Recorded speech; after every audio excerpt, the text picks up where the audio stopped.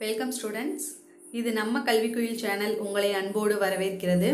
இன்றைக்கி இந்த பதிவில் நம்ம என்ன பார்க்க போகிறோம் அப்படின்னா பதினொன்றாம் வகுப்பு வணிகவியல் பாடத்தில் அழகு எண் ஒன்றில் அத்தியாயம் இரண்டில் தொழில் நடவடிக்கைகளின் வகைகள் என்ன அப்படிங்கிறத பற்றி பார்க்க போகிறோம் ஸோ ஸ்டூடெண்ட்ஸ் பாருங்கள் தொழில் செயல்பாடுகள் அளவு அப்படிங்கிறது உரிமை அதோட பணிகள் அப்படின்னு தொழில் நடவடிக்கைகளை வகைப்படுத்தலாம் அப்படின்னு சொல்லியிருக்காங்க.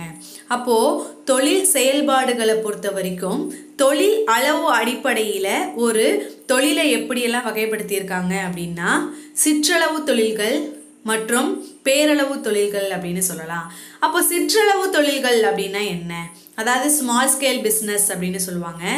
ஒரு சின்ன லெவலில் மூலதனத்தை போட்டு குறைந்த அளவு பணியாளர்களை மட்டும் வச்சு வேலை செய்யக்கூடிய ஒரு தொழிற்சா தொழிலை தான் என்ன சொல்லுவாங்க அப்படின்னா சிற்றளவு தொழில்கள் அப்படின்னு சொல்லுவாங்க. அது என்ன மேம் அப்படி? சரி சிறிய அளவில் முதலீடு போடுறது சிறிய அளவு பணியாளர்கள் அமர்த்துறது அப்படின்னா அதுக்கு உதாரணங்கள் ஏதாவது ஒரு தொழில்கள் சொல்லலாம் அப்படின்னா கைத்தறி நெசவு உதாரணமாக சொல்லலாம். ஓகேவா ஸோ அதுக்கடுத்து பார்த்தோம் அப்படின்னா பேரளவு தொழில்கள். பேரளவு தொழில்கள் அப்படின்னா என்ன? சிற்றளவு தொழில்களுக்கு அதுக்கு அப் அப்படியே ஆப்போசிட் பேரளவு தொழில்கள் அப்படிங்கும்போது அங்கே இடக்கூடிய மூலதனம் எப்படி இருக்கணும் அப்படின்னா பெரிய அளவில் தான் இருக்கும். அங்கே வேலை செய்யக்கூடிய பணியாளர்கள் எப்படி இருப்பாங்க அப்படின்னா நிறைய பேர் இருப்பாங்க. அங்கே செய்யப்படக்கூடிய உற்பத்தி எப்படி இருக்கும் அப்படின்னா மிகப்பெரிய அளவில் தான் இருக்கும் அப்படின்னு சொல்லியிருக்காங்க. அப்போது பேரளவு தொழிலுக்கு ஏதாவது உதாரணங்கள் சொல்லுங்கள் அப்படின்னா கொடுத்துருக்காங்க பாருங்கள் ஜவுளி தொழிற்சாலை ரேமண்ட் ராம்ராஜ் காட்டன் உணவு எண்ணெய் பிரித்தெடுக்கும் தொழிற்சாலை. ஓகேவா? இது எல்லாமே பார்த்தோம் அப்படின்னா பேரளவு தொழிற்சாலைக்கு மிகப்பெரிய எடுத்துக்காட்டுகள் அப்படின்னு சொல்லலாம். அதுக்கடுத்து பார்த்தோம் அப்படின்னா உரிமை அடிப்படையில். ஒரு தொழில் உரிமை அடிப்படையில் எவ்வாறு வகைப்படுத்தப்பட்டுள்ளது அப்படிங்கும்போது மூன்று வகைகளாக வகைப்படுத்தப்பட்டுள்ளது அப்படின்னு சொல்லலாம்.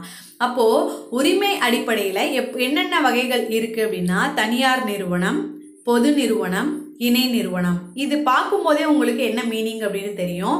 தனியார் நிறுவனம் அப்படிங்கிறது தனியாளா தனியாள் பர்சனால உருவாக்கப்பட்ட ஒரு நிறுவனம் தான் தனியார் நிறுவனம் அப்படின்னு சொல்கிறாங்க அதாவது தனி நபரால் தனி நபர்களால் உருவாக்கப்பட்ட நிர்வாகம் கட்டுப்படுத்தப்படும் உள்ளிட்ட யாவும் மேற்கொள்ளும் தொழில் அமைப்புகள் தனியார் நிறுவனங்கள். ஒரு இண்டிவிஜுவல் ஒரு பர்சனோ இல்லை குரூப் ஆஃப் பர்சனோ தனியாக ஒரு பிஸ்னஸை ஸ்டார்ட் பண்ணாங்க அப்படின்னா அது தனியார் வணிகம் தனியார் நிறுவனம் அப்படின்னு சொல்கிறாங்க அது எடுத்துக்காட்டுகள் சொல்லணும் அப்படின்னா யூஸ்வலாக நம்ம தனியார் வணிகம் அப்படின்னு சொல்லலாம்.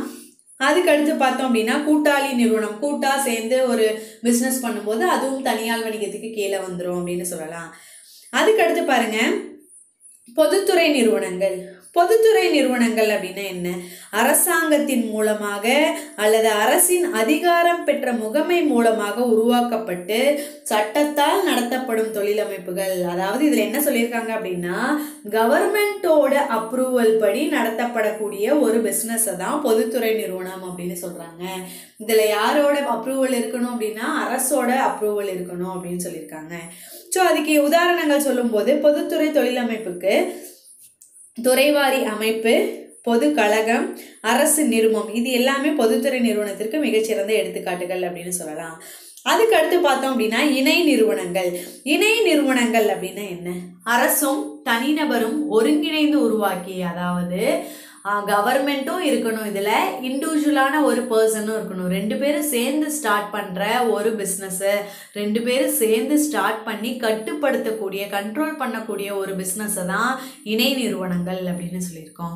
ஸோ அதுக்கு அடுத்து பார்த்தோம் அப்படின்னா பணிகள் அடிப்படையில் ஒரு நிறுவனம் எப்படியெல்லாம் வகைப்படுத்தப்பட்டிருக்கு அப்படின்னு பாருங்கள் இரண்டு வகைகளாக வகைப்படுத்தப்பட்டிருக்கு. ஒன்று பார்த்தோம் அப்படின்னா உற்பத்தி தொழில். உற்பத்தி தொழில் அப்படின்னா என்ன? நுகர்வு சார்ந்த அனைத்து பொருட்களையும் உற்பத்தி செய்தல் அதாவது ஒரு நுகர்வோர் நுகர்வு கொள்ளக்கூடிய அனைத்து பொருட்கள். நுகர்வு கொள்ளக்கூடியன என்ன? பயன்படுத்தக்கூடிய அனைத்து பொருட்களையும் உற்பத்தி செய்யக்கூடிய அல்லது ஒன்று சேர்க்கக்கூடிய அனைத்து தயாரிப்பு நிலைகளையும் உள்ளடக்கிய ஒரு விஷயம்தான் உற்பத்தி தொழில் அப்படின்னு சொல்கிறாங்க ஸோ எடுத்துக்காட்டு உற்பத்தி தொழிலுக்கு என்ன சொல்லலாம் அப்படின்னா ரொட்டி எண்ணெய் காலணிகள் மற்றும் மூலதன பொருட்கள் தயாரிக்கும் நிறுவனங்கள். இது எல்லாமே பார்த்தோம் அப்படின்னா எதுக்கு உதாரணம் அப்படின்னா உற்பத்தி தொழிலுக்கு உதாரணம் அப்படின்னு சொல்லலாம். அதுக்கு அடுத்து பார்த்தோம் அப்படின்னா வணிகம்.